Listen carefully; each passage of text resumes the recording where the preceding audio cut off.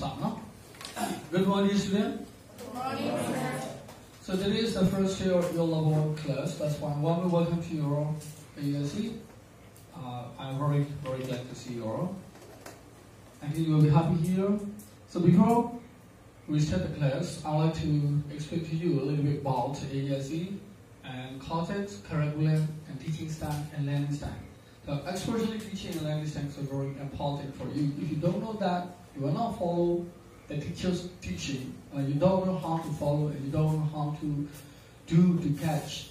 the teacher's teaching or how to do to get the skill. It is very important. That's why on the first day, if we have time, we will teach you only one program. But if we don't have time, we will not teach you only explanation, right? Okay, so let's start now. I know what. အဲသူဒီခိုင်းလိုက်တာကြာနော်ဘာပြောပါလဲဘာပြောဒီနေ့စာသင်ပါလဲလားမသိဘူးလားတင်ရင်လည်းတင်မယ်တင်ရင်လည်းတင်ရှင်းကြအောင်โอเคတင်မယ်တော့မသိဘူးလားအဲအချိန်ရရင်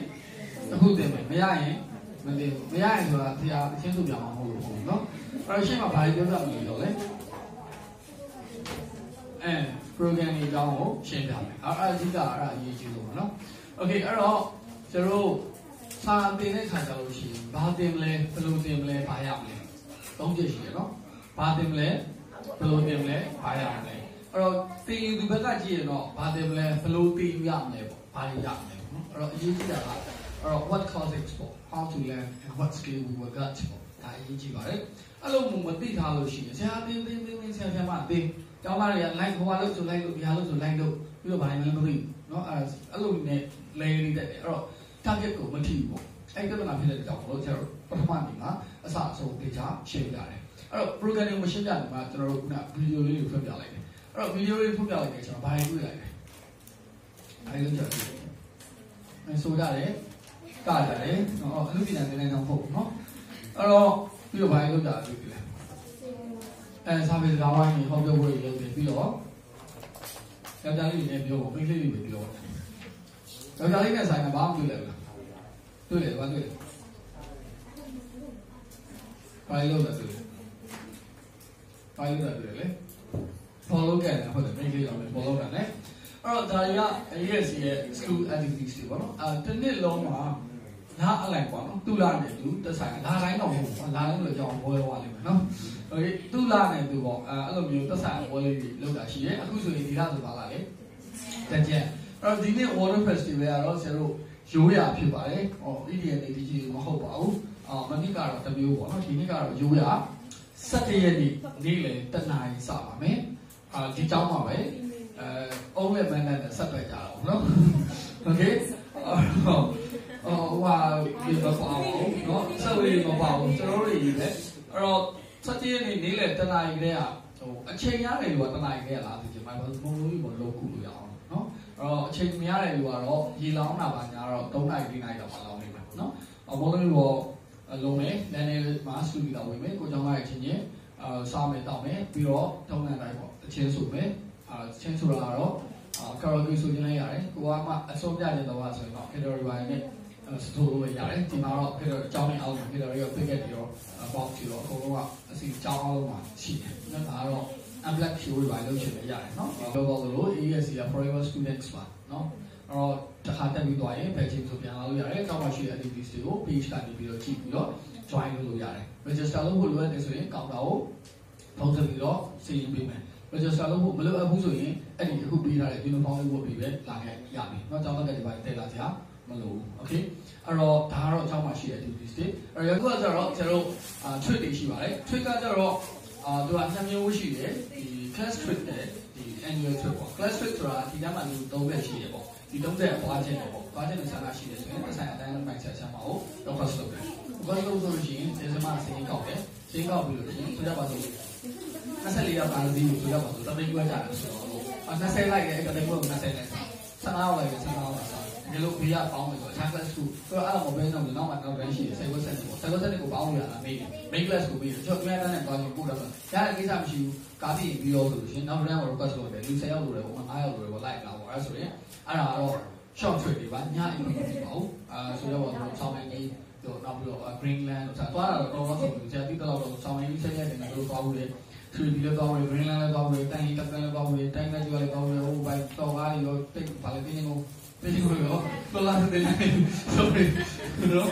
အဲ့တော့တော်တော်ဆုံးဆုံးပဲအမောကဆိုလို့ရှိရင်တော့သူတို့ကြီးရအောင်ဘောရီထောင်မန္တလေးဆိုပြီးမင်းကုန်းသွားတယ်ပကံသွားတယ်နော်ပြီးတော့ဗာလေပြင်းဝင်သွားတယ်သူတို့ကြီးဆက်နေရပေါ့ပွားထားနေရအဲ့ဒါတော့ class နဲ့ပတ်သက်တဲ့ဟာတွေပါအဲ international trade ရှိပါတယ် international trade ကတော့အကြောင်းအောင်ပတ်စံဆိုင်ပါဘူးဦးလေးကပြောပါတယ်တော့ local trade ကအကြောင်းအောင်ပတ်စံဆိုင်တယ်အအကုန်လုံးအပြည့်တော့မဟုတ်ဘူးပေါ့နော်ကားကတော့ဖြစ်ဖြစ်တက်နိုင်တော့အကြောင်းအောင် budget ထုတ်ပြီးတယ်အဲ့တော့ international trade က2018မှာကျွန်တော် အာ Bangkok သွားပြီးတော့ပါပြီ Stanford International University နဲ့ Assumption University ကိုသွားပါတယ်ဒီ2019မှာတကယ်ဆို9လပိုင်းသွားမလို့9လပိုင်းမကွေးချောက်ဖွဲ့မှန်နဲ့တိုက်တယ်လို့9လပိုင်းကိုရွှေ့ထားပါတယ်အဲဟိုပါပေါ့ Nanyang Technological University NTU သွားပါမယ်ပြီးတော့ Singapore ဟိုပါဟိုဗာလေ Singapore ဗာလေ National University SNU เนาะအကြီးဆုံးပဲ Asia Pacific မှာအကြီးဆုံးကျောင်းသားကျောင်းပဲ အဲ့တော့တော်တော်လေးလေးဝင်ဝင်ရအောင်လို့ဆရာတို့ဟိုဒီ tool canvas ဆရာတို့ canvas tool ဆရာတို့ဆရာတို့တော်လေးလေး request လုပ်ပါပါ right အဲ့တော့ like ချင်တဲ့ပညာရှင်ရဲ့အဲအခုဆိုရင်4 5 6 9 8 9 6လပတ်စံစုလေးရှိပါတယ်900နဲ့မှ80ပါတယောက်ပေါ့တယောက်980ပါဘောရတိက2 980နော်အဲ့ဒါဟွာဘာဘယ်လိုဆရာကဘာလုပ်လဲခဏဆရာကဒါပါအောင်နော်အဲ့တော့ ဘာ80ကိုကိကကလိုက်လိုက်ချင်တပါဆိုလို့ရှိရင်အခုကလေးကတလောက်ဆိုကြပါဆို9000ဆို9000ဟို6000ဆို6000မင်းမင်းဖင်းဖင်းပြီးတော့ပုံမှန်ကသွင်းထားလို့ရပါတယ်တိတ်အများကြီးမကုန်တော့ဘူးပေါ့နော်အဲ့လိုမျိုးဆိုလို့ရှိရင်အဲ့တော့ဒါကတော့အဲ့မှာတကယ်ကို university ထဲမှာအသေးစိတ်ဒီဒီလေ့လာတာပါသူတို့ရဲ့ဒီဟိုဘယ်လိုပြောမလဲ lab ဆိုလဲ lab တွေအထိဒီတကယ် practical လုပ်တဲ့နေရာဆို practical area အထိအသေးစိတ်ဆရာတို့ကိုလိုက်ပြပေးပါတယ်ဆရာတို့အဓိကရွေးထားတဲ့ subject တွေကတော့ management ရှိမယ် financial ရှိမယ် engineering ရှိမယ်အဲ့သုံးခုအဓိကသွားမယ်ပေါ့နောက်တစ်ခုအာ980ကတော့ fix မဟုတ်ပါဘူးအတူအလျှော်နည်းနည်းတော့ရှိနိုင်တယ်လေရင်လက်မှတ်ပြောင်းလဲပေါ့မတူဘူးတော့သွားတဲ့အချိန်မှာပေါ့ဆိုတော့စင်ကာပူကလေရင်လက်မှတ်တွေ200ကျော်တယ်အဲ့အဲ့ဒါနေတော့တော်တော်ထိတယ်နော်ဘာလို့လဲလမ်းလျှောက်သွားလို့လည်းမရဘူးအဲ့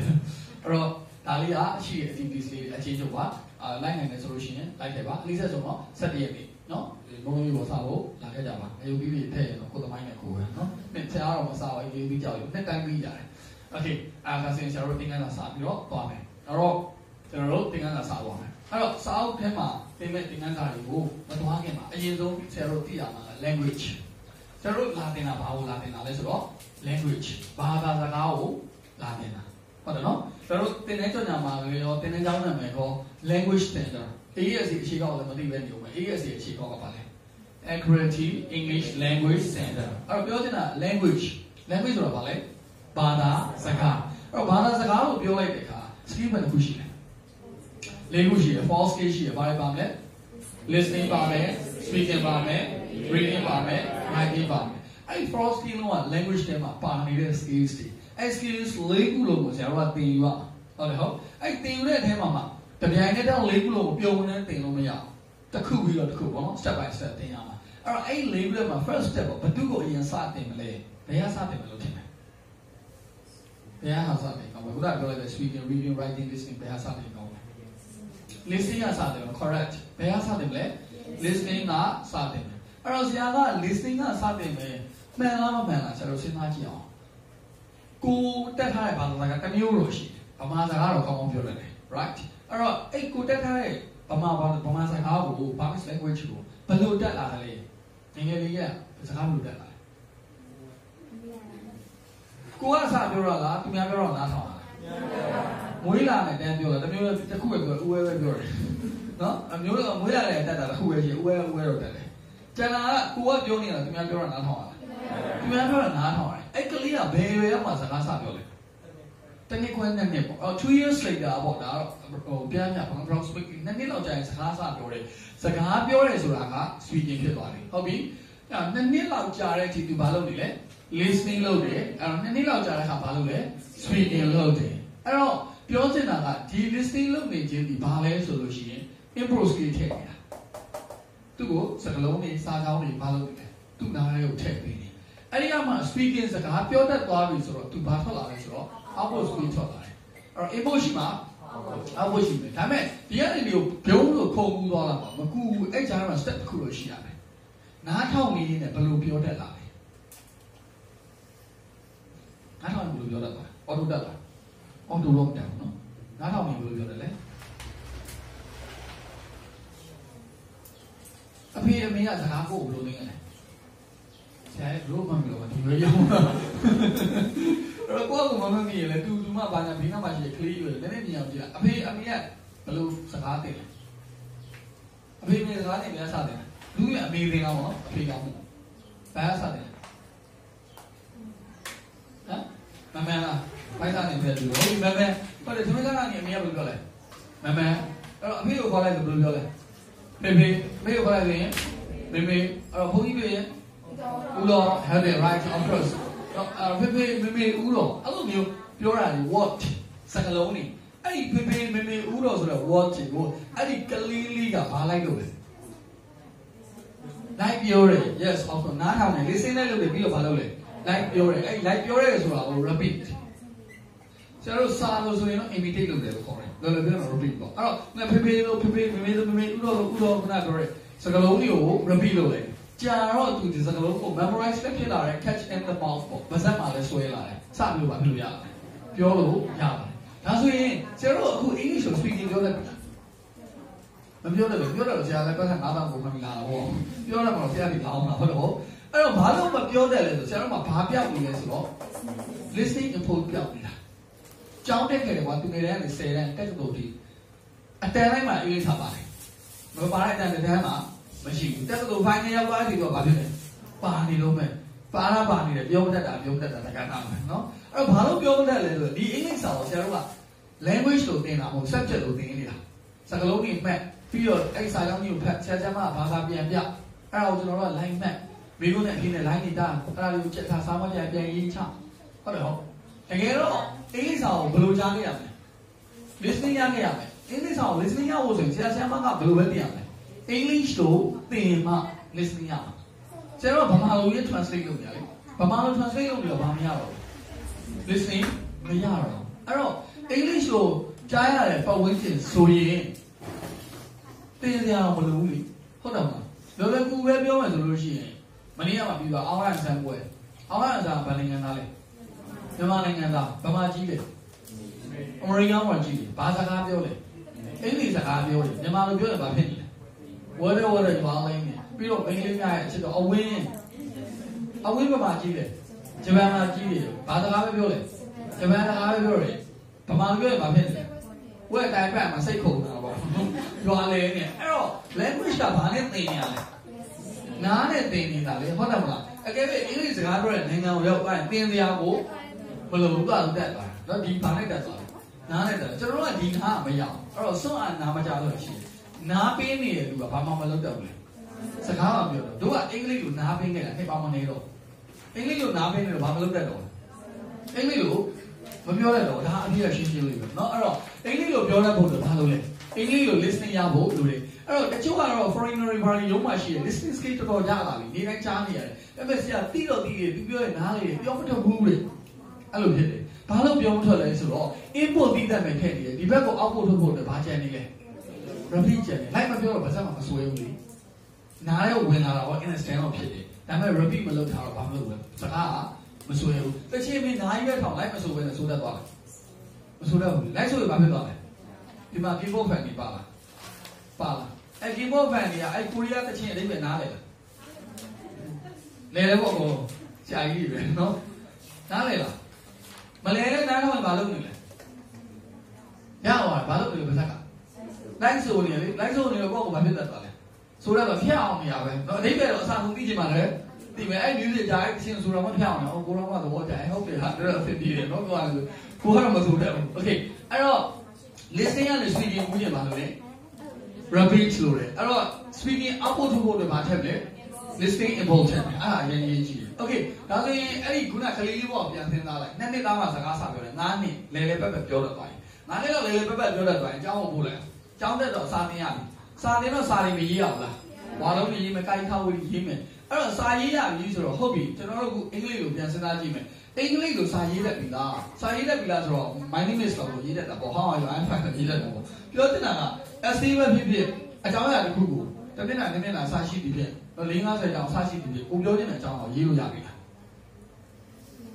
မရသေးဘူးဘာဖြစ်လို့မရသေးဘူးလဲဆိုတော့ writing based on speaking နဲ့ writing ကဘယ်လိုပုံမှာအခြေခံလဲဆိုတော့ speaking ပုံမှာအခြေခံနေ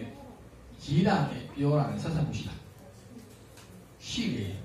သူတို့တနည်းတနည်းအရင်တော့အခုကတော့ communication ကအရင်ဘယ်လိုပြောမလဲကျင်းမြောင်းသွားပြီအရင်တော့တယောက်နဲ့တယောက်တွေ့ရင်ဖုန်းဆိုတာရှားပါသေးတယ်တယောက်နဲ့တယောက်ဆက်သွယ်ရင်ဘာလို့တက်လဲစာရေးတယ်အဲ့တော့အဲ့ဒီစာထဲမှာရေးလိုက်တော့အကြောင်းအရာများပြီဘာတွေပဲလဲပြောမယ်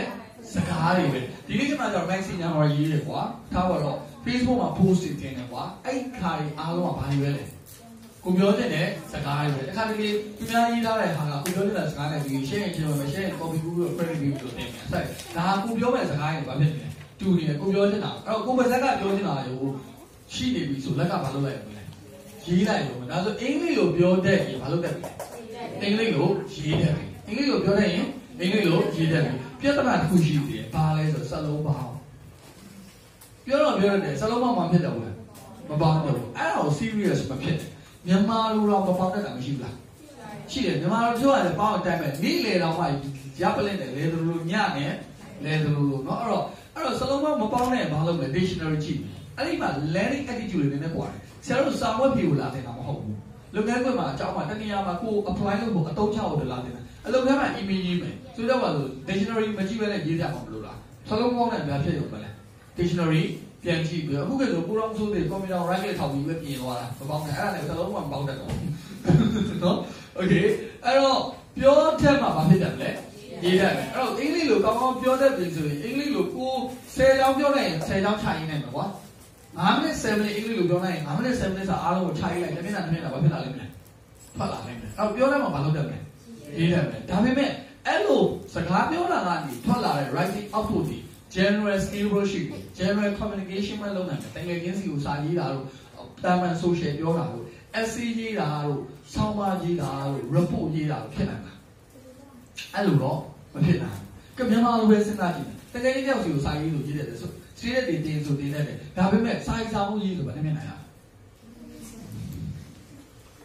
စာရေးစာမှုဘာနဲ့မြင်အောင်ဖြစ်ခဲ့တယ်တဲ့လားခုလောလောဖြေထားရပြီပါလားပါတယ်နော်ဘာနဲ့မြင်တာဖြစ်ခဲ့တယ် ဘာနဲ့မြင်တာကွယ်တော့လည်းအရင်တော့ဖြစ်ခဲ့တယ်လို့ရောဘာနဲ့မြင်တာဖြစ်ခဲ့လဲ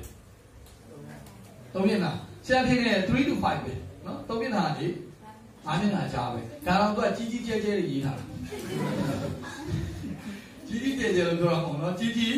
ကျယ်ကျယ်ရေးတာစလုံးကလည်းကြီးကြီးလိုင်းကလည်းကျယ်ကျယ်ရေးတာโอเคအင်္ဂလိပ်ကကြောင့်လဲတယ်နော်သူကအဲ့လိုလိုစာမျက်နှာနဲ့မကတ်တော့စလုံးရင်းနဲ့လေ 300တော့900တော့အဲ့တော့ဘယ်ကြီးလို့ကြည်ကြည်ကြီးကြီးကြည်ကြည်ကိစ္စကြီးလို့တော့စလုံးလေးတွေပဲကြီးတာဟုတ်ကဲ့အဲ့တို့ကကျတော့ရေလို့ရတယ် what တစ်ခုတစ်ခုစီ pre အစုလိုက်ရှိတို့ကအဲ့လိုရေလို့မရဘူးတို့ကမှစလုံးစလုံးလေးယူသွားလိမ့်မယ်အမှန်နော် okay အဲ့တော့အဲ့လိုစိုင်းစားမှုရေးဆိုရင်ဘာလို့ကောင်းကောင်းမွန်မွန်မရေးနိုင်လဲဆိုတော့သူ့ကိုထောက်ပံ့ပေးမဲ့ skill တစ်ခုလို့တယ်ဘာလဲဆိုတော့ reading input ထည့်ရတယ်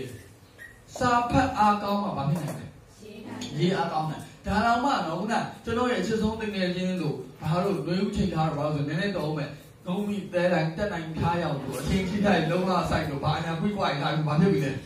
ရွာလေပြီအဲ့လိုတိုင်းတယ်ပြီးတော့အဲ့ဒါညီမလိုပဲရှိတယ်ဒါဆိုရင်အဲ့လိုဟာကြီးရေးဖို့အတွက်အကူကားကြီးဘာလို့ထားမလဲစာဖတ်ထားဖို့လိုသေးတယ်ဒါဆိုစာဖတ်တဲ့ input နဲ့ writing output တန်းထွက်သွားတာအဲ့လိုလည်းမထွက်ဘူးစာဖတ်တိုင်းစာရေးတယ်အကုန်စာရေးတယ်ဖြစ်မှာပေါ့ဟုတ်တယ်ဟုတ်ဘာလို့နေလဲဆိုတော့ဂျားထဲမှာ copy note လို့ဖို့လိုတယ်ကိုဒီဟာကိုဖတ်လိုက်တယ်အဲဒါလေးကတော့ဘယ်နေရာမှာအသုံးတဲ့ line လေးတားမယ်ဖတ်စာအုပ်ထဲမှာကူးမယ်ကူးမယ်ကူးမယ်အကြာလာတဲ့ခါကျတော့ဘာဖြစ်လာလဲဆိုဒီနေရာမှာဒီလိုဟာလေးတွေသုံးရတယ်ဆိုတာကိုယ့်ဟာနဲ့ကိုယ်ဘာဖြစ်လာလဲ memorize ဖြစ်လာအလေးကျင့်ရလားရေးစရာဘာဖြစ်လာလဲပေါ်များလာတယ် okay ဒီ copy မကူးထားရင် just only reading info မှာ knowledge status ရက်နေနေမယ်เนาะအဲ့တော့ဟိုတိတယ်ဆိုတဲ့ဟာလေးနဲ့ရက်နေနေမယ်အဲ့တော့တကယ် report တွေစောင်းမားတွေစာစာအုပ်တွေထွက်ဖို့ဆိုဘာလို့လဲ reading info လိုပါတယ်အဲ့တော့ reading ဟာ writing တစ်ခုတည်းကိုပဲထုတ်ပေးသလားဆိုမဟုတ်ဘူးသူ listening ကိုလည်း supporting ပေးနိုင်တယ်သူများကကိုယ့်ကိုအကြောင်းအရာတစ်ခုပြောတယ်ပြောတဲ့အခါနားလည်လွယ်ဖို့အတွက်နှစ်မျိုးဖြစ်ကြတယ်ကြားဘူးရမယ်ကိုယ့်ကိုဖတ်ဘူးရမယ်ဆိုတော့ Goring ကြီးကျွန်းသိလားကြောက်ဘူးလားကြောက်ဘူးလို့လို့ရှိမယ်မရောက်ဘူးလို့ဆရာမရောက်ဘူးဟုတ်ကဲ့အဲ့ guarantee ကျောင်းလို့ပြောလိုက်တယ်တန်းပြီးအဲ့ဒါဘာဖြစ်လို့လဲ ကြားဘူးထားလို့တော့မဟုတ် Facebook မှာကြော်ညာတွေမှာသူများကြွားတဲ့ဟာတွေမှာဖတ်ဘူးထားလို့ကြားဘူးထားတယ်တော့မဟုတ်ဖတ်ဘူးထားတယ်ဆိုဒီမှာပြောတော့ဘာဖြစ်လဲနားလွယ်လွယ်အခုခုန K-pop fan တွေအဖွဲပေါင်းကများသွားပဲဟိုတေကပြဿနာတက်တယ်မသိဘူးအဲ့လိုဘာလို့လဲကိုကကြားကြောက်ဖတ်တဲ့ပုံဘူးလေအဲ့တော့ဒီဘဝတော့ပြောလိုက်တာလေကိုယ်လည်းပြောလို့ရှိရင်အဲ့ဒီဘာလဲအိတ်ဆိုးလားပါလားအဲ့ဒီအင်ကြီးကိုမြင်လို့ဆရာဘာမှမသိဘူးဒီနားရဲ့ဆရာမအဲ့ဒါဘာတစ်စိတ်လဲလို့ဟာဆရာအဲ့ဒါမသိဘူးမသိဘူးလေလို့အဲ့တော့ကျွန်တော်အဲ့ဒီလောကမှာတော့ကျွန်တော်ညံ့တယ်ဒီ keyboard လောကမှာတော့ကျွန်တော်တော်တော်လေးညံ့အခုအဲ့ကြောင့်မကျင်တဲ့လို့အခုညညဆိုကိုရီးယားကားတွေထိုင်ကြည့်တယ်အဲကျွန်တော်အဲထိုင်ကြည့်တယ်ဟိုအတချင်းတွေတော့နားမထောင်ဘူးဇာကားတွေယူရင်ထိုင်တယ်နည်းနည်းမှတ်မိလားဟောဒီကောင်းဒီကောင်းမှလည်းပါဟောကောင်းမှလည်းပါနော်โอเคအဲ့တော့အဲ့ဒါဘာလုပ်နေရလဲဆို input တွေထည့်နေရလေ input မထည့်တော့ကိုကမသိဘူးလေဘာပြောပြောပဒံလေးအောင်ကနားထောင်နေတာနော်โอเคအဲ့တော့ listening ဖြစ်ဖို့အတွက်နားလည်လွယ်ဖို့အတွက်ဘယ်သူကလည်းအကူအညီပေးနိုင်လဲ reading ကအကူအညီပေးနိုင်တယ် ထို့အတူ speaking ကိုလည်း reading ကအကူအညီပေးတယ်စာဖတ်အားကောင်းရင်ဘာလဲကောင်းတာပဲပြောရလဲကောင်းတာပဲသူကပြောတဲ့အကြောင်းကလေအများကြီးရှိတယ်အဲ့တော့ဒီမှာ writing ကိုတင်ပေးတာမဟုတ်ဘူးနော် reading ကဘယ်နှခုကိုပေးလဲ listening ကိုလည်း supporting ပေးတယ် speaking ကိုလည်း supporting ပေးတယ် writing ကိုလည်း supporting ပေးတယ်ဒါဆိုစာဖတ်အားကောင်းလေကောင်းလေအခြားအားတွေလောက်ရတာဘာဖြစ်နေလဲလွယ်လေလွယ်လေပဲအဲ့တော့ပြဿနာတက်တာစာဖတ်အားကကောင်းလို့ပြောတာဖတ်ကိုဖတ်လား မဖတ်ဘူးကျောင်းအတက်စဖို့တော့မဖြစ်တာလို့ဖတ်တာစားမဖြစ်အောင်လို့နော်အဲ့တော့ဟိုကျွန်တော်တကယ်လေးဗာလဲဟိုပညာရေးတက်ကကိုဆရာမပြောလို့စာသူရည်သားတာဖတ်တာမဟုတ်ဘူးနော်အဲ့လိုဖြစ်နေ Okay အဲ့တော့ဒီမှာကျန်လေးဒီ writing ကိုလေကျွန်တော် reading ကရေး supporting ပေးတာကို listening ကလည်း supporting ပေးကိုတခုကိုရေးတဲ့အခါလေးကြားဘူးတာကိုထည့်ယူလို့မရဘူးလားကိုကြားဘူးတဲ့အကြောင်းအောင်လည်းထည့်ယူလို့ရတယ်ဒါဆိုသူတို့လေးခုကတစ်ခုနဲ့တစ်ခုပါဖြစ်နေတာ ချိတ်ဆက်နေကြတယ်အဲ့ဒါကိုတစ်ဖက်ချင်းတင်လို့ရလားတစ်ခုချင်းတင်လို့ရမှာမရဘူးဒါပေမဲ့ emphasize လုပ်လို့ရတယ်ကိုလိုအပ်ချက်ပေါ်မှာကိုက writing ကိုအဓိကလုပ်တယ်ကိုက reading ကိုအဓိကလုပ်တယ်ကိုက speaking ကိုအဓိကလုပ်ကိုလိုအပ်တဲ့ပုံမှာမူတည်ပြီးတော့အားဖြည့်ပြီးတော့ပိုလေးကျင်လို့ရတယ်ဒါပေမဲ့နောက်ွဲတွေတော့ဘာလို့အောင်လဲထည့်ရမယ်အခုဒီနေ့ခေတ်မှာကျမကြီးရပဲဖြစ်ဖြစ် body building ရပဲအကျဉ်းလေးပါသွားဆော့ကြတယ်အများဆုံးဆော့ပါကြတယ်အဲ့တော့ဂျန်သွားဆော့ရတာကျမကဒီ bike လေးပဲချက်ချင်တာဒီ bike တစ်ခုပဲလေးတင်တာလုပ်လို့ရလားရလား မရဘူးလေကျန်တဲ့လေးတင်တာလည်းဘာလို့ရလဲလောက်ရတယ် supporting လိုအပ်တဲ့ဟာလို့လေကျမက speaking ပဲပြောချင်တာတနေ့ကိုပြောမယ်ပြောမယ်ပြောမယ်ရမှာမရဘူးကျန်တဲ့ဟာတွေလည်းဘာမှမလို့သေးလဲလုပ်ဖို့လို့သေးဒါမှကျွန်တော်လက်မောင်းပဲသိချင်တယ်လက်မောင်းလေးတစ်ချောင်းပဲကျင်နော် okay အဲ့တော့ဒီလိုလာတဲ့သင်တန်းသားသင်တန်းသူအများစုဒီဒီ skill တစ်ခုကိုလိုချင်လို့လားပြောချင်တယ်ရေးချင်တယ်တနည်းအားဖြင့်ပြောရင် output skill ကိုလိုချင်လို့လားတချို့အများစုဒီပြောချင်လို့ရေးချင်လို့လားလို့ပြောမပြောနိုင်ဘူးမရေးနိုင်ဘူး အဲ့တော့ output skill တစ်ခုကိုလိုချင်လို့လာတဲ့အခါသူတို့မိနေတာဘာလဲဆိုတော့အိတ်ချက်တစ်ချင်းလို့ပဲအောင်မြင်မှုရဲ့နောက်ွယ်မှာအဲ့ဒီ output ရဲ့နောက်ွယ်မှာဘာရှိလဲ input ရှိတယ် input မရှိရင် output မရှိဘူးနော် input ရှိမှာ output ရှိမှာတို့ကစားမွဲဖြစ်ပြီကွာစားတလုံးမှမချင်ဘူး Facebook သုံးလိုက် game ဆောလိုက် TV ကြည့်လိုက်စားမွဲခိုင်းရအောင်ညှစ်ချင်တယ်လားညှစ်ဘာထွက်လဲဘာမထွက်ဘာဘာမထည့်တာဟုတ်လဲ input ထည့်မှာ မထည့်တာတပုတ်ထည့်တာမဖြစ်လို့ရတယ်တပုတ်လို့ရေးလို့ရဒါပဲအဲ့တော့ဆရာတို့ကအခုဖြစ်နေတဲ့ပြဿနာဒီ input ကိုမထည့်ဘာလို့ထားလဲဒီ output ကိုထုတ်ဖို့ကြိုးစားတယ်အဲ့ဒီလိုပြောနေတယ်ပြောနေတယ်နားထောင်ဘူးလားတနားပြအောင်နားထောင်ဘာကိုပြောမှာ okay အဲ့တော့အဲ့တော့လုံးဝမမေ့ပါနဲ့ဒါဒီ language ရဲ့အခြေခံအကျဆုံးတော့ concept မေ့သွားမှာဆိုလို့အခုတောင်းအဲ့အဲ့ဒီတစ်ထဲစီလက်ဆောင်ရတယ်ဝတ်ထားရလို့ကောက်ကောငုတ်ကြည့်ဝတ်ထားသေးရလို့ကဒီအင်းကြီးတွေကိုလှမ်းကြည့်လိုက်တစ်ဖက်မှာပါပါလဲ input တစ်ဖက်မှာ output input မှာဘာနဲ့ပါလဲ listening and reading output မှာ speaking နဲ့အဲ့ဒါ emoji တွေမဟုတ်ဘူးနော်ဟာဟာတွေမိုးတွေတိုင်းတွေ love တွေမဟုတ်ဘူးနော်အဲ့တော့ဒီအင်းကြီးကတော်တော်ပြဿနာတက်တယ်တော်တော်များများက Facebook emoji ဖြစ်မတိုင်ရင်တဲ့ဒီဆရာတို့တင်တဲ့ည2013ခုနှစ်ကတကယ်ထုတ်တင်တာတော့ဖြစ်တာလေစဖွင့်တာလေ2013မှာ Facebook ခက်စားပြီလားခက်မစားဘူးခက်စားတော့မှ like ပဲပေးလို့ရတယ်ဝိုးတွေထားရပေးလို့မရသေးဘူးအဲ့ဒီခေတ်ကလေးကထုတ်တာနော်အခုမှဝိုးတွေပါထားလို့တာမဟုတ်ဘူးအဲ့တော့ပြောစင်တာ သူကအဲ့ဒါနဲ့ဒီမှားတယ်နော်ဆရာလည်းပြောင်းလိုက်တော့မှဟိုဘက်က listening နေရာမှာနော်ဟိုဟာစမိုင်းလေးထည့်ဒီမှာဆိုလို့ရဟာလေးထည့်ဒီဘက်မှာ reading နေရာမှာဝိုးလေးထည့်ဟော writing နေရာမှာလက်မလေးထောင်တန်းဆက်လို့ရတယ်ဟုတ်တာပါအဲ့တော့အဓိကပြောချင်တဲ့အဓိကဟောပြအောင်ပြတာ listening ရဲ့ speaker မှာဘာဝဲပြတာလဲ now ဝဲပြတာ speaking မှာ the reading မှာ yellow writing မှာ left တွေ့လားအတိတ်ပဲနဲ့ဆွဲထားတာနော်အဲ့ဒါပျော်လို့ရှောက်ပြီးတော့ဟို trend နဲ့ကိုက်အောင်ရှောက်လို့ထားတာမဟုတ်အဲ့ဒီမှာ ဟိုဟာရှိတယ်အတိတ်ပဲရှိတယ်အဲ့တော့ဘဘယ်လိုပြောမလဲကြများစနံပြောရရင်ဒီ concept ကိုတင်းတဲ့ကိုတင်းတဲ့သားတွေရဲ့နှလုံးသားနဲ့အနည်းဆုံးညာညမတဲ့ထည့်တာ။ဟောဒါလေးကိုအများနဲ့တတိယနေအောင်လို့အဲ့ဒါနေမကသေးဘူးရေးတဲ့ exercise book ကိုကြည့်လိုက်နော် exercise book ရဲ့မျက်နှာဖုံးမှာလည်းပါတယ်အဲ့ဒီအောက်ဖို့နဲ့ input နေတာနော်ဒီအကြောင်းကသိလို့နော်အခြားအကြောင်းဆိုဝင်တဲ့ item တကားမှအောက်ဖို့ input ရဲ့ကတ်တာအကြီးပဲဟိုကတော့လာတော့ဘာလို့ဆိုလို့ရှိရင်ဒီမဟာသိလို့အဲ့တော့ text book မှာလည်းကြည့်လိုက်အဲ့ဒီ output နဲ့ input ကဘာဖြစ်လဲပါတယ်အဲ့တော့ input နဲ့ output ကိုမိတ်မှာဆိုလို့နေရာတိုင်းမှာမြင်အောင်လုပ်တာလေအဲ့တော့မိတ်မှာသွားနေ input ရှိမှာ output ရှိမယ် okay အဲ့တော့အဲ့ဒီဟာကိုဆရာအပေါ်နဲ့အောက်နဲ့ပြန်ပိုင်းကြအပေါ်မှာ listening နဲ့ speaking ရှိတယ်အောက်မှာ reading နဲ့ writing ရှိတယ်တနည်းအားဖြင့် listening နဲ့ speaking ဒီစကား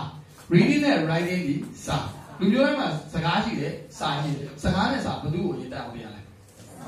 စကားတက်အောင်တင်စကားတက်ပြီးမှမတင်ရမယ်စာတင်ရမယ်တို့ကအเจ้าကဘယ်ကစာလဲပြောင်းမြင်ကြီးဖြစ်ညာလေနှစ်နှစ်သားကလေးကိုစာတင်လို့ရလားဒီမှာရှိတဲ့တလုံးတင်တဲ့သားအသက်30ဖြစ်ဖြစ်40ဖြစ်ဖြစ်55ဖြစ်20ဖြစ်ဖြစ်အသက်အားဖြင့်တော့အဲ့ဒီလိုရောက်နေမယ် language level တွေကအသက်ကဘယ်နှစ်သားလောက်ပဲရှိသေးလဲနှစ်နှစ်တောင်ပြီနှစ်နှစ်သားမှစကားတက်တက်တက်နည်းနည်းပြောနေကို့မှာအင်္ဂလိပ်လိုအဲ့လောက်တော့မပြောသေးဘူးအဲ့တော့နှစ်နှစ်သားသုံးနှစ်သားပဲရှိတယ် language level မှာအဲ့ဒီဟာကိုဘာသွားစတယ် စာသွားနေအဲ့မှာပြောင်းနေကြားပေါ်အချိန်မတော်တော့ရှိဘူး right အဲ့တော့ကျွန်တော်တို့ဒီမှာဒီအပေါ်ပိုင်းကိုအဓိကအားပြုပြီးတော့တင်တယ်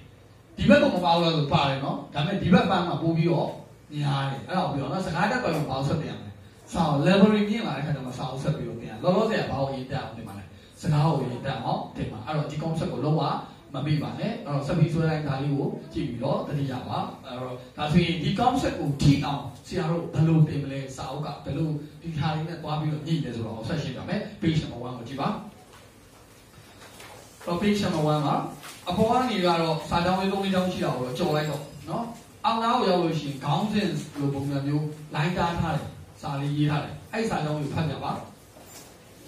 read each of the following groups three times after the teacher sing reading ဘာပြောလဲ three times ဟောတယ်တုံးညင်တုံးကနမောတတရုပ်ဆိုရခန်းကိုဖွင့်လိုက်ကြအောင်ဟုတ်ပါ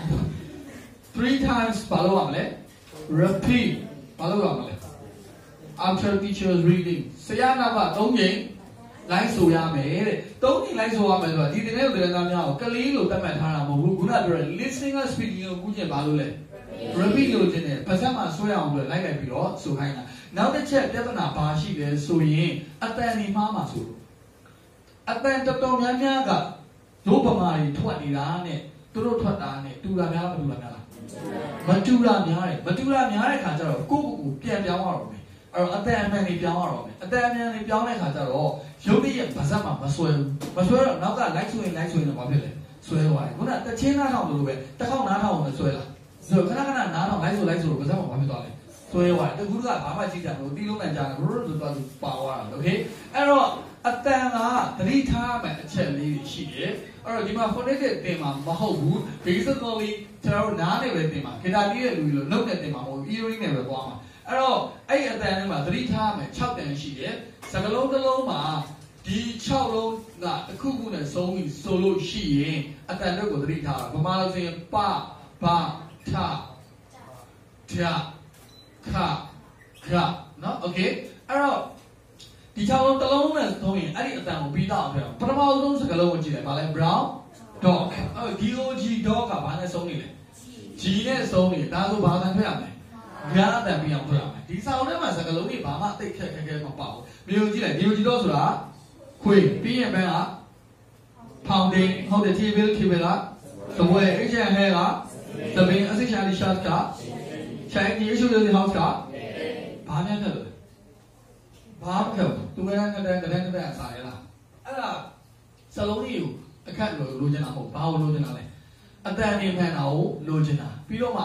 ဒီအဲ့တော့ English to English သင်တဲ့ကြောင့်မလို့ hearing ကို listening ကိုလိုချင်တာအဲ့တော့ဟုတ်ပြီ DOG dog က G နဲ့ဆုံးတဲ့ကြောင့်ဘာသာထွက်ရမလဲ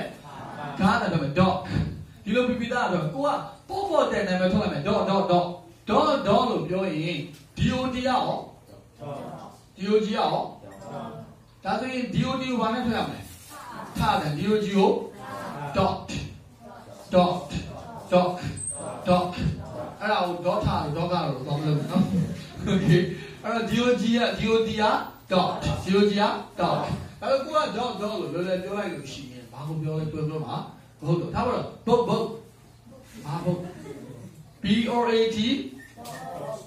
boat B O K book book B O A T boat B O K book ဒါတော့ book book ဆိုရင် B O A T လဲ book B O K လဲ book ဖြစ်နေဘာ book မသိဘူးเนาะအဲ့တော့ကိုအဲ့လိုမျိုးမပြီးရင်တစ်ဖက်သား9000နဲ့ကအတိတ်ပဲဘာဖြစ်သွားနိုင်လဲ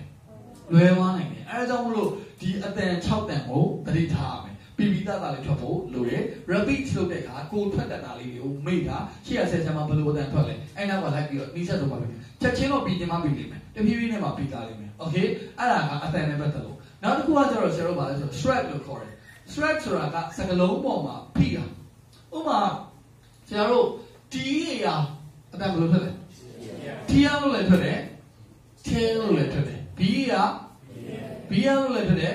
ဘဲလို့ဘီးရနဲ့ဘဲနဲ့ဒီဘက်လို့လားမတူဘီးရဆိုရင်ဘောဘောတယ်လီဘီရတော့မိကလေးတွေအများကြီးကြည့်တယ်7ရက်နေရရလားမရလားမသိအော်7ရက်နေရဆိုတော့နော်သားလားမရအကြောင်းကဘယ်လိုပေးတယ်โอเคအဲ့တော့ tear ဆိုရင် မျက်ရည် tear ဆိုရင်ဆုံးဖြဲတယ်โอเคအဲ့လိုပဲဆိုတော့ R E C O R D record လို့လည်းထွက်တယ် record လို့လည်းထွက်တယ် record လို့ထွက်ရင် now အဲ့ဒါမှတ်တယ်မှတ်ရတက်ပြ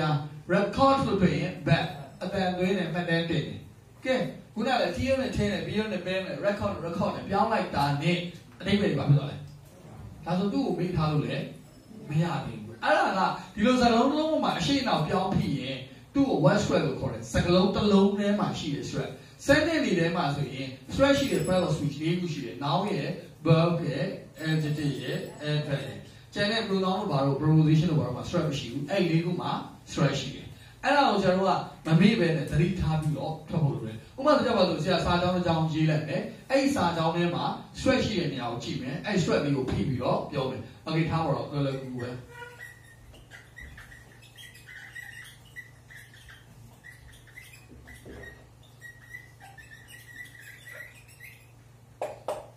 ဘာရေးလိုက်တာလဲဖတ်လို့ရလားမရရင်လည်းကြိုးစားပြီးဖတ်ရုပ်ချွဲလူတွေအားနေချက်ကလေးမလှအောင်နော်အဲ့တော့ဒီလိုပဲကြိုးစားပြီးတော့ဖတ်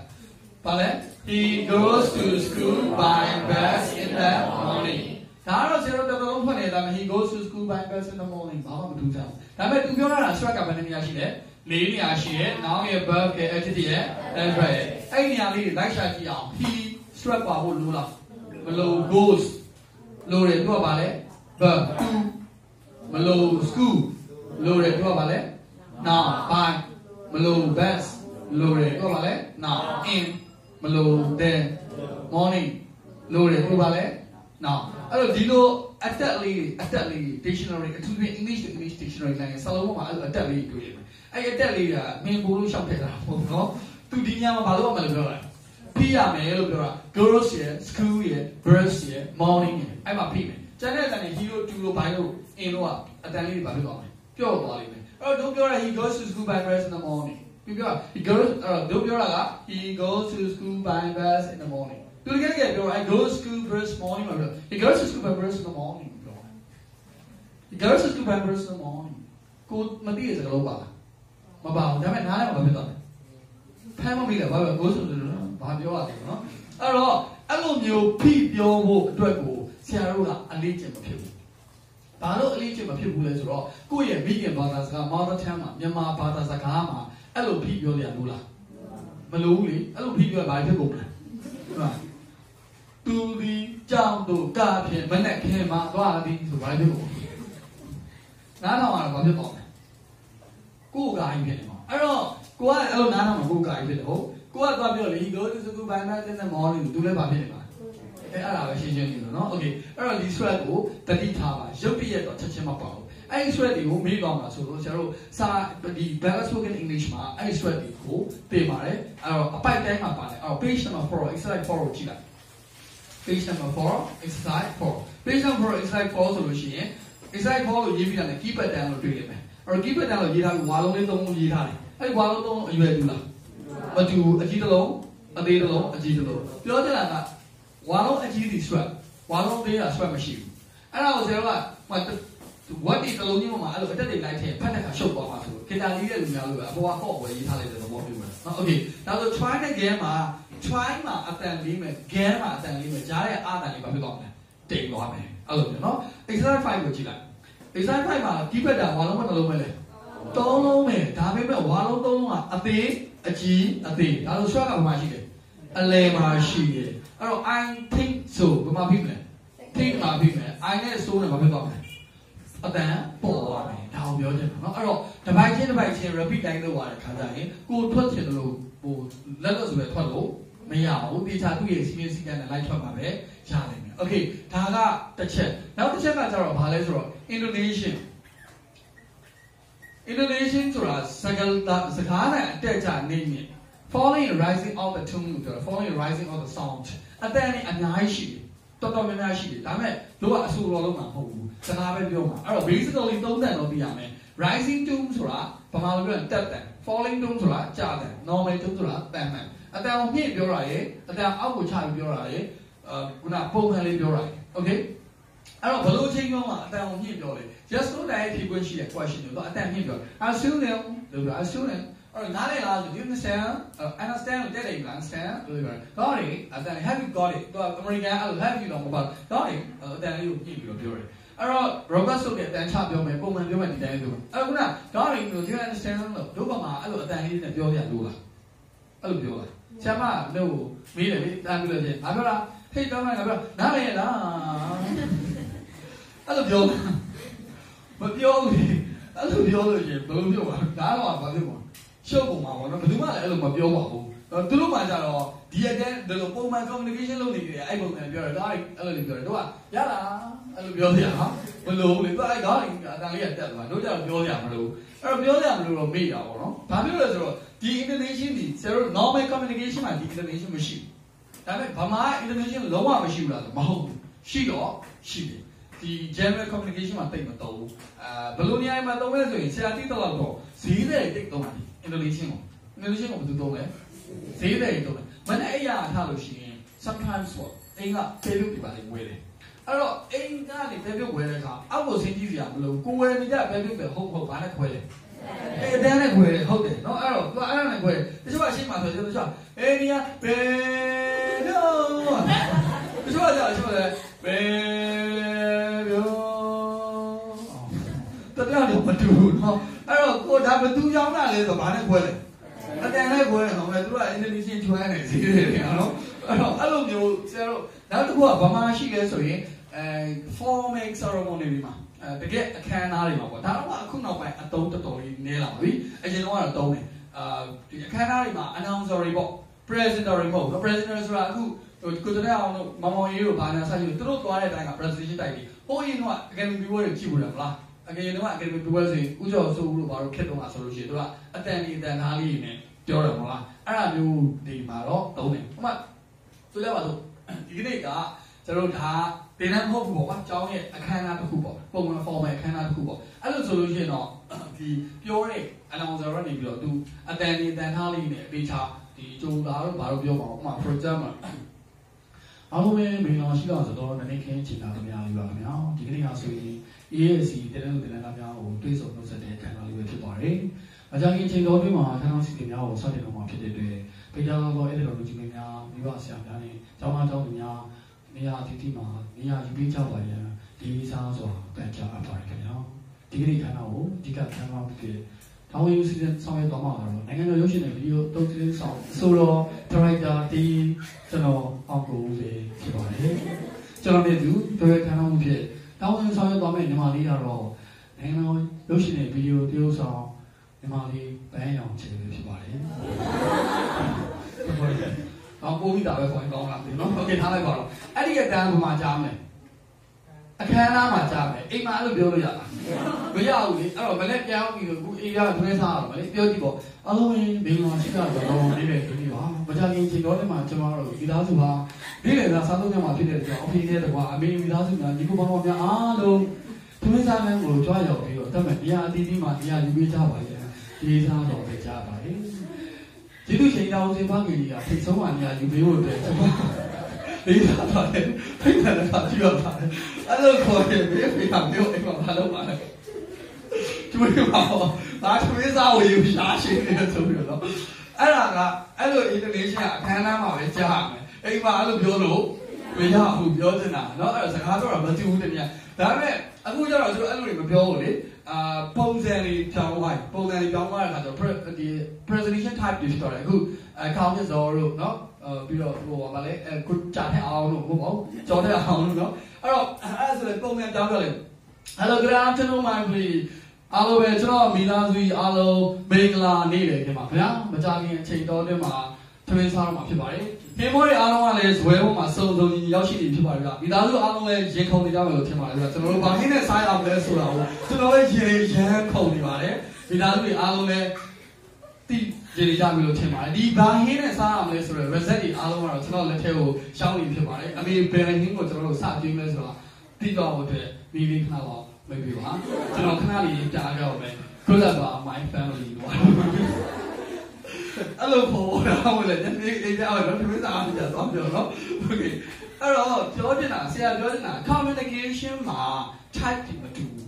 communication လို့ရတာကတဏှာနဲ့တဏှာမတူဘူး right အဲ့ဒါကြောင့်မလို့ ကျွန်တော်တို့ဗမာကကြတော့အခမ်းအနားတွေမှာအဲ့လိုပုံစံတွေချိန်သွားတယ်ပုံမှန်စကားပြောနေတဲ့အခါအဲ့လိုထွေတာလေးတွေပြောနေတာမလို့ဟိုအင်္ဂလိပ်တွေကပုံမှန်ပြောနေကိုအဲ့လိုအတက်ကြရဘာဖြစ်နေလဲပြောနေတယ်အင်္ဂလိပ်စကားတွေကြီးကြီးအဲ့တော့ဒီသုံးချက်ဒီဘာနဲ့တူလဲဆိုလို့ရှိရင်တချင်းတပုတ်ရဲ့တန်စင်နဲ့တူတယ်နော်တချင်းတပုတ်ရဲ့တန်စင်နဲ့တူတယ်ဒီကျွန်တော်တို့ပြောမဲ့ English sentence တွေဒီတချင်းတပုတ်ရဲ့စာသားနဲ့တူတယ်အဲ့တော့ ကျွန်တော်တို့ကနှစ်ခုလုံးရေးကြည့်တယ်စာသားကိုအကုန်ရတယ်တန်စင်မပါဘူးဆိုရင်ဘာဖြစ်သွားမလဲဆိုတော့ဘနာနာဖြစ်သွားမှာပေါ့လို့အဲ့တော့ဆိုကြပါလို့တချင်းလို့ပါဆိုကြပါလို့အခုကျွန်တော်တို့ရဲ့စီနီယာကြီးเนาะမလက်ဖန်တစ်ခါကြာလို့ရှိရင်မွေးနေ့ပွဲလုပ်တော့မယ်เนาะအဲ့တော့အခုတချင်းလို့ဆိုကြပါစို့เนาะเนาะမင်းစော်တဲ့ငါစော်ကပူမိုက်တယ်ဟိကောင်မင်းစော်ပူမိုက်တယ်ဟိကောင်ငါစော်ပူမိုက်တယ်ဘာဖြစ်နေမှာလဲ စာချက်တော့ပြောသေချာသင်္ကန်းလာမှာဘေးစုမဘာဝချင်းပေါင်းငယ်ချင်းလေးလေးဘလူကြီးလာလားပြောအဲ့လိုဘာဖြစ်လို့မလဲအဲ့ဒါစာလောက်မှန်ဘူးလားမှန်တယ်လေဒါမဲ့နားတော့မကောင်းလားမကောင်းဘူးသေချာသင်္ကန်းဆောင်မှာဘေးစုမဘာဝချင်းပေါင်းတယ်ချင်းလေးလေးဘလူကြီးလာတော့မိဘကလာချင်းကောင်းတယ်မင်းကကိုကြိုက်ဘူးလုံးဝကိုမမိုက်ဘူးဒါနဲ့လည်းစိတ်မကုန်ဘူးငါရဲ့ဖြစ်ကမှယူရဲ့ဘာမှမပြောဆက်ဘူးနော်အဲ့ဒီခါမှာဘာနဲ့တူပါလဲရှင်းတော့ဘုရားလည်းဆိုပြအောင်လေဆယ်လေးကြာလို့ရှင်းအားကြောင့်မလို့နော် အဲ့ဒီကြလို့ရှိရင်ဟိုကက်တွေ activate မလုပ်ရသေးတဲ့လူတွေတော့နော်ဘာတိုင်းလက်မှတ်မရသေးတဲ့လူတွေသူကအဲ့မှာရှိနေကျွန်တော်ကဟိုဗာလဲ left right bevel မှာကျွန်တော်ရှိတယ်နော်အဲ့တော့အဲ့ဒီတိုင်းတွေ့တန်းခေါ်လိုက်ကြအောင်နော်ဆယ်လေးကြာလက်မှတ်ရပြီလားဘယ်ရနေလို့ရှိရင် AS မှာဝယ်လို့ရတယ်လို့တစ်ပတ်ခါစပြီးလို့ရှိရင်တော့တောင်းဝယ်လိုက်ရအောင်လို့နောက်တာနော်အဲ့တော့ပြောချင်တာက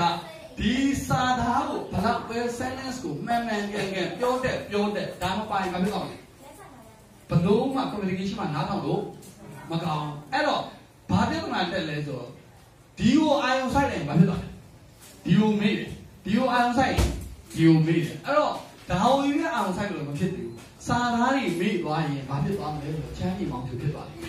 အပြောခံကိုပြောတဲ့ sentence ကဘာဖြစ်နေလဲမှားနေတာဟုတ်အဲ့တော့ sentence တော့မှန်မှန်ရဲ့ကြီးမဝင်လည်း banana ဖြစ်သွားမယ်။ banana လည်းမဖြစ်သေးနဲ့မောင်သူလည်း မဖြစ်သေးနဲ့နော်ဒီနေ့တည်းရဲ့လည်းတန်းထဲမှာရှင်းနေတာလူလည်းကုန်တော့မယ်။အဲ့တော့ light တွေပါလေမလွှင့်ထားလို့မွေးကဆဲခံရလား။ထားတော့ပြောချင်တာကစကားပြောတဲ့အခါစာသားတော့အရင်ရအောင်လို့နော်ကျွန်တော်တို့အခု the mic ဆိုထားတော့ဒီမှာအရင်တို့ပြိုင်တဲ့အဆိုတော်တွေကတပတ်တစ်ပတ်က things like ကိုစုံမဲ့တဲ့ချိန်ကိုဘာလို့ရေးကြစာသားရေးကြတယ်ပြီးတော့မှဒီတန်စင်ကိုပေါ်တော့ဆင်းလာတဲ့အချိန်ကြီးပြင်အဲ့တော့ဒီမှာလဲ sentence ကိုရေးမှအောင်လို့ sentence မှန်တော့ဆက်ပါမယ် ဒီဘက်ကိုဆက်သွားမယ်ထားတဲ့လို့တော့မရဘူးအဲ့တော့ဘယ်လိုဖြစ်တဲ့ပြဿနာလဲဆိုကာရိုဂရီဘာတွေတောက်ဆိုကြဘူးလား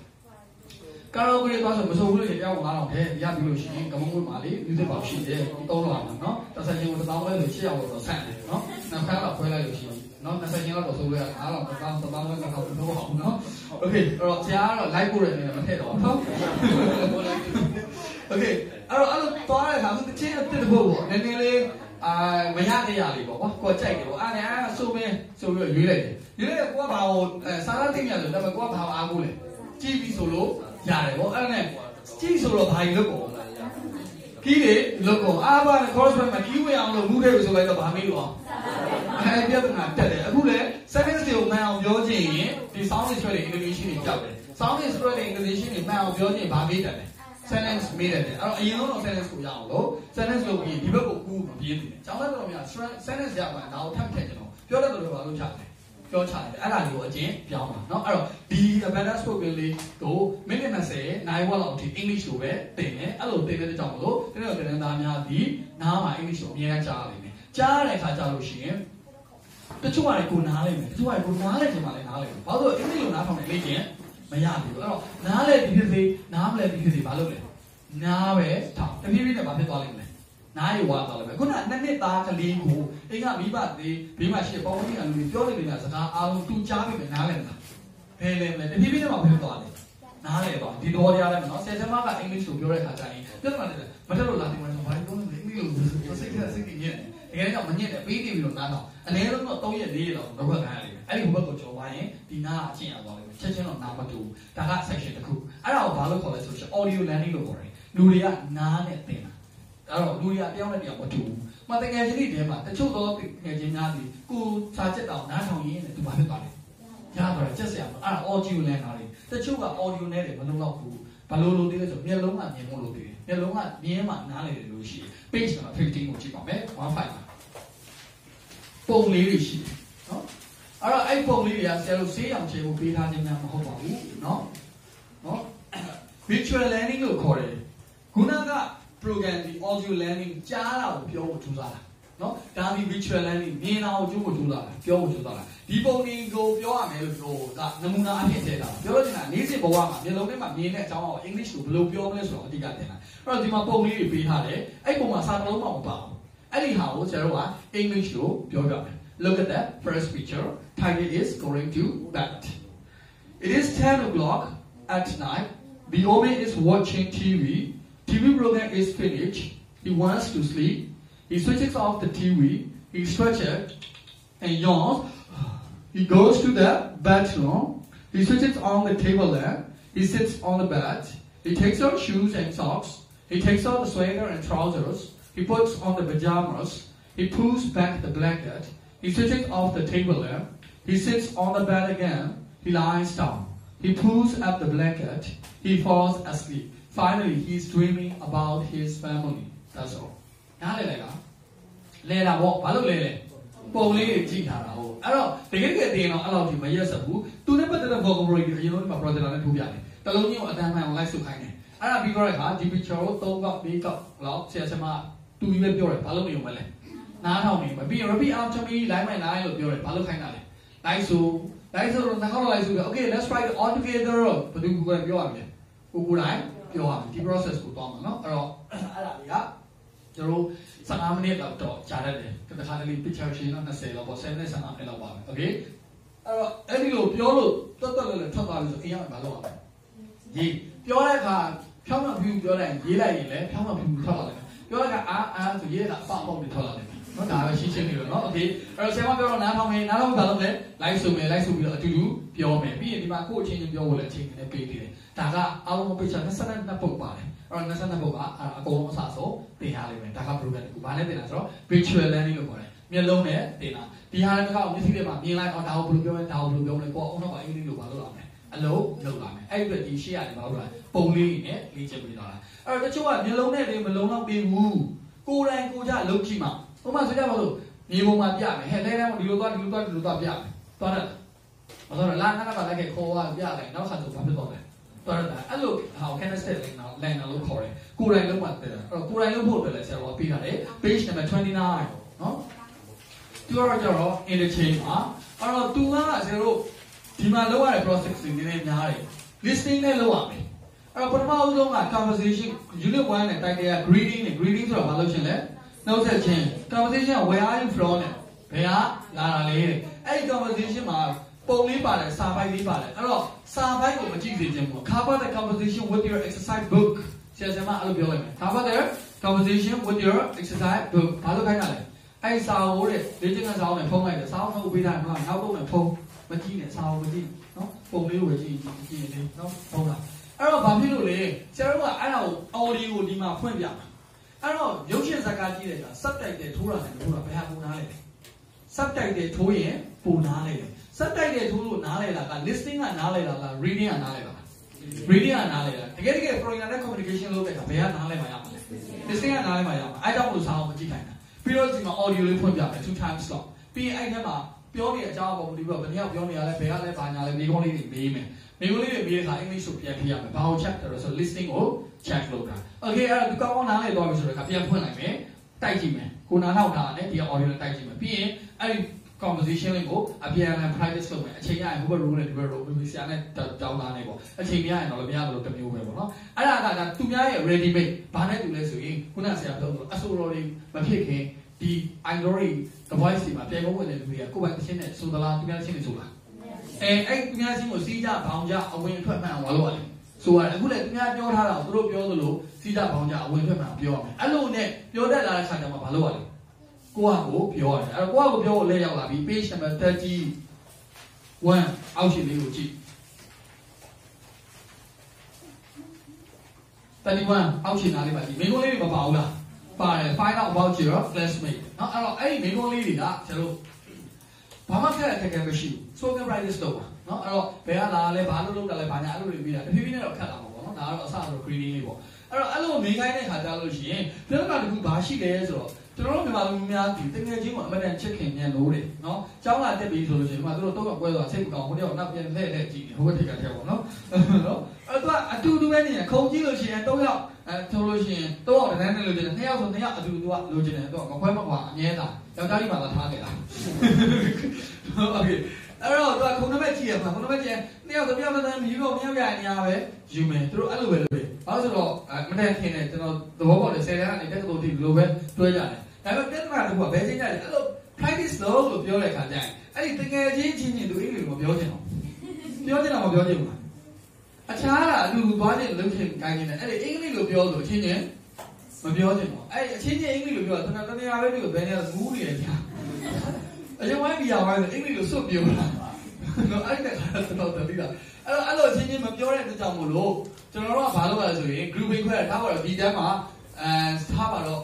24ယောက်ရှိတယ်ပေါ့1 2 3 4 5 6 7 8 9 10 11 12ပေါ့အခါ1ကပြန်တော့1 2 3 4 5 6 7 8 9 10 11 12ပေါ့အဲ့လိုခွဲလိုက်တဲ့အခါ1နဲ့ဘယ်သူနဲ့ပြန်တွေ့လဲ1နဲ့2နဲ့2နဲ့ဒါဆိုလူတွေဘာဖြစ်သွားလဲခွဲသွားပြီအဲ့တော့အဲ့ဒီလိုမျိုးပြန်ပြီးတော့တွဲပြီးတော့ပြောခိုင်းတယ်အဲ့လိုပြောခိုင်းတဲ့အခါကျတော့စောင်းလေးကန်မပြောမဆရာကြည့်နေဘာလို့ဆရာတိကျတယ်မှားအောင်ရှက်စရာမတိရလူတွေကြတော့မှားရင်သွားရင်ရှက်စရာမဟုတ်လို့မပြောဘူးတဲ့အချင်းချင်းကြောက်တယ်ဘာဖြစ်လဲ မပြောဘူးတဲ့ဘယ်ချင်းပြောမှာလဲစကားမပြောကြည့်အခုနမပြဗီဒီယိုပြရတယ်မပါတဲ့ program တစ်ခုရှိပါတယ်စတင်ပြီးတော့ဒီနေ့ကစပြီးတော့စရင်ကောက်နေပါပြီဧပြီလ17ရက်နေ့ကနေ18ရက်နေ့တည်းမြမရိုးကကြံကာလအတွင်းမိဂလာကိုကမ္ဘာ့တာမှာတရားစခန်းဝင်ရမှာဖြစ်ပါတယ်တရားခံလိုက်ကြပါဘာမှပြောရအောင်လို့ နော်ဒီဒီတစ်ပတ်တည်းမှာပြောတဲ့ဒီကိုအင်ကိုထားဖို့မယ်တရားစခန်းကိုထည့်ပေးပါရန်အကြောင်းရဲ့အစီအစဉ်အရဒီလိုဒီလိုဒီနေ့ဒီရက်ဒီဒီအကြောင်းမှာသွားမှာဖြစ်တဲ့ကြောင့်လူချင်းတို့တာသမီများကိုခွင့်ပြုပေးနိုင်ရန်အကြောင်းကြားအပ်ပါသည်အဲ့ဒါမှခေါင်းပြောဘယ်ခေါ်မှာလဲတရားခံဘာမပြောဆိုတာတာလိကာလေးလို့ဗမာလိုပြောခိုင်းတာမဟုတ်တော့ဘယ်လိုပြောခိုင်းတာလဲအင်္ဂလိပ်လိုပြောခိုင်းတာပြောလို့ရတော့ဘယ်လိုနော်အဲ့တော့မပြောရင်ဘယ်ခေါ်မလဲတရားစခန်းကဒီဒီကြောင်းနဲ့မဟုတ်ဘူးနော်မန္တလေးနဲ့မန္တလေးရောက်သူ့သက်ဆိုင်ရာ တရားစခန်းဝင်ရရှိတဲ့ညကျောင်းပွဲအားလုံးတရားစခန်းမှာ7ရက်နေ့တကြံ7ရက်နေ့တရားစခန်း18ရက်နေ့ပြန်ထွက်ရပါမယ်နော်အဲ့ဒီထဲမှာပို့ပြီးတော့ကိုယ်ကကုသိုလ်ရပြီးတော့ software upgrade လုပ်ချင်တယ်ပေါ့ကိုယ့်ရဲ့ mind version ကိုမြင့်ကျင်နေဆိုရင်ကရုံးသုံးပြီးဒီလားရှင်ဝလို့လည်းရတယ်လို့နော်ယောက်ျားလေးကလည်းကရုံးသုံးပြီးတော့ပူစင်ဝလည်းရတယ်အကြောင်းကတင်ငန်း curriculum လူပါတယ်လို့ဘာမှသိဖို့ပါเนาะအဲအကြောင်းမှာเนาะဘုံကြီးကိုလည်းရတယ်လူယောဂီအနေနဲ့တရားထိုင်ကိုရတယ်ယောဂီလို့ရတယ်တရားထိုင်ကိုအဲ့တော့အဲ့လိုပြောခိုင်းတဲ့အချိန်တိုင်းအားရပါရပြောပါမပြောရင်ဘယ်ပုံမှန်လဲဒါဆရာပုံမှန်เนาะချိန်ချောက်လာမှာအဲ့တော့ဒီ program ကအဲ့လိုလေး practice လုပ်ပါမယ်နောက်တစ် page number 57 50ခွန်ဖြစ်ပါတယ်အဲ့ page number 50ခွန်မှာကျွန်တော်တို့မိကုန်းလေးတွေရှိပါတယ်အဲ့ဒီမိကုန်းလေးတွေကကျွန်တော်တို့ video ကြည့်ဖို့အတွက်ပါ okay အဲ့တော့ the series gym နဲ့ နော် gym ဆိုတဲ့အကြောင်းပေါ့ what does the gymmer need to get gym ကိုတွားတဲ့လူတွေဘာပြီးလို့လိုအပ်တယ်လဲစာချုပ်မေးလို့ခုလိုသုံးလငါးလို့ရှိမှာပေါ့မိကုန်းဖတ်ပြီးသွားပြီဆိုရင်ကျွန်တော်တို့ဒီမှာ video လေးပြမယ်သူ gym တွားတဲ့အကြောင်း video ပြမယ်အဲ့လိုပြတဲ့အခါကြည့်ကောင်းကောင်းနဲ့ကြည့်မနေပါနဲ့ခဲတယ်လေးလက်ထဲမှာခြင်ထားပါအဖြေတွေ့ရင်အစအဆုံးဖို့ရင်တော့ဥမာ what does the gym member need to give ဆို the gym member needs to give ဆိုပြီးတော့ထားပါ ID တက်ပေါ့ ID တက်အဲ့လိုအစီအပြည့်စုံနောက်မှကြီးတော့တဲ့ဘေးကဘာလေးဖတ်ထားလဲ ID card အဲ့လို short point လေးမှတ်တာပါကြည့်ကြည့်ကြည့်ဆိုစောအောင်ကြည့်တော့လေဘာရလဲတိဦးလေးကြည့်နေရတယ်ဘာလို့လဲမဆုံးနဲ့နော်ကြည့်ခိုင်းတာဘာလဲ listening ဘယ်လောက်ရတယ်ဘယ်လောက်နားလဲလို့ဆိုတာ check လုပ်ဖို့အတွက်ကြည့်ခိုင်းတာလေအဲ့တော့မိကုန်းလေးတွေကိုခဲတာလေးနဲ့နှုတ်လို့ပါခုနှစ်ပုတ်ပါပါတယ်59ရဲ့58 59မှာ3ပုတ်58မှာ4ပုတ်အားလုံးမှာခုနှစ်ပုတ်ပါပါတယ်ဒါက video ကြည့်တာအဲ့တော့အဲ့ဒါ58ပြီးတာလည်းနောက်တစ်ရက်ကြော်လိုက်လို့ရှိရင်67မှာ listening ကိုရောက်သွားပါပြီဒါကတော့ကျွန်တော် audio listening မှာ မေကွန်း၄ခုပေးထားပါတယ်မေကွန်းတစ်ခုစီမှာ possible answer ၄ခုစီပေးထားတယ် multiple choice question ပေါ့အဲ့တော့သူ့ကိုမေကွန်းညင်ဖတ်တယ်ဆရာတွေက၃ဘုတ်ကနေ၅ဘုတ်လောက်ဖြည့်ပဲမေကွန်းကိုဖတ်ပြလိုက်မယ်နောက်ပိုင်းဆိုရင်မဖတ်ပြတော့ကိုယ့်ကိုဖတ်ခိုင်းတယ်နားမလည်မှာမေးခိုင်းတယ် okay အဲ့တော့မေကွန်းဖတ်ပြီးသွားတဲ့အခါ audio ဖွင့်ပြမယ်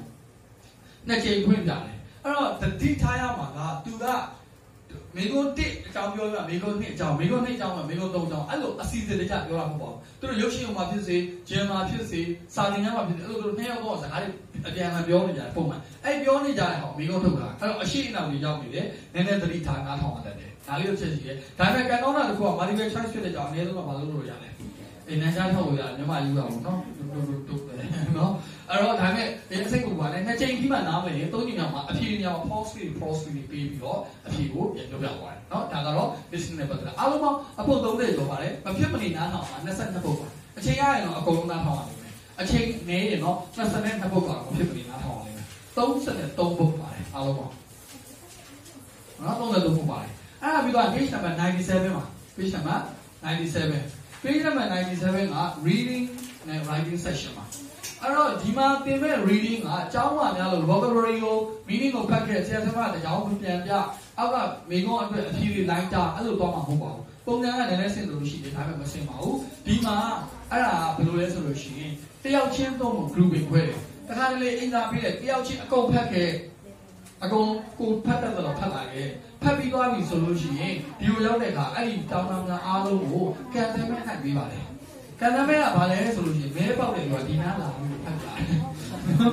တော့အဲ့လိုဖတ်ပြတဲ့အခါအဲ translate လုပ်ပြရတာပေါ့နော်အမှားရွေးရှိနိုင်တယ်ဘာမှစိတ်မပူနဲ့အဓိကဒီလိုလူရှိမှစကားပြောခိုင်းရအောင်ဖြစ်တယ်မှားသွားတယ်ဘာမှမဖြစ်ဘူးအဲ့တော့ပြီးသွားရင်ဆရာသမားဒီနားလေးပြင်လိုက်ဒီနားလေးပြင်လိုက်ပြန်ပြင်ပေးတယ်ကိုယ့်ရဲ့ idea လွဲတယ်ဆိုလို့ရှိရင် အကုန်လုံးကဘယ်သူမှဟိုအစာဆုံးတက်ပြီးနေမှသိတယ်အဲ့တော့အဓိကက day to say what the microphone in front of the people ပေါ့နော်လူရှိသူရှိမှ mic နဲ့စကားပြောရအောင်ကြည့်ပေးတာအဲ့လိုမျိုးဘာသာပြန်ရမှာဖြစ်တယ်တစ်ခါကျရင်၄ယောက်တစ်ဖွဲ့၄ယောက်တစ်ဖွဲ့ one stop ပဲတစ်ခါလဲတစ်ထိုင်နဲ့ဖတ်ခိုင်းတယ်တစ်ထိုင်နဲ့ပြန်နိုင်တာပဲရှိတယ်ပြီးတော့မှဆယ်ဆက်မှပြပြီးကိုယ်တိုင်ကိုကြတော့ဘာလို့ reading ကအတိုင်းအတာတစ်ခုတွေလောက်ကြတာမလောက်ကြဘူးလား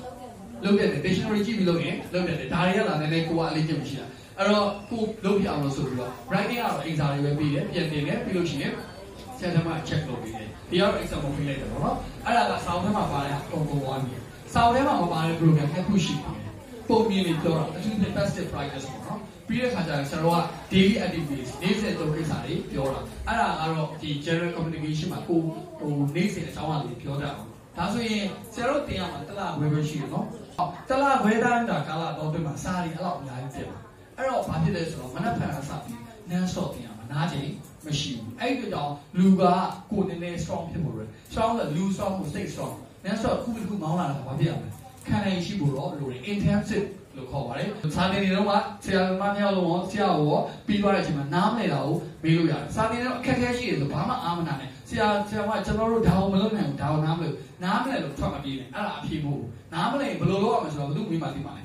ဆရာဆရာမကိုမေးမှသိမှာဘာမှအားမရမလို့ပွင့်လင်းပြောရင်စီဝိုင်းထားတယ်အလားအားလာတဲ့တော့ပတ်ဖန်ပေးထားတယ်ကိုယ့်ရဲ့ရပိုင်ခွင့်ကဘာဖြစ်လို့ရလဲမေးလို့မြန်လို့ပြောလို့ရတယ်เนาะအဲ့တော့ဒီနေ့တော့ဆောင်းပြတော့ဒီမှာပဲရက်ပါမယ်မနက်ဖြန်မှာပဲစာတင်ပါတော့မယ်โอเคအားလုံးပဲ bye bye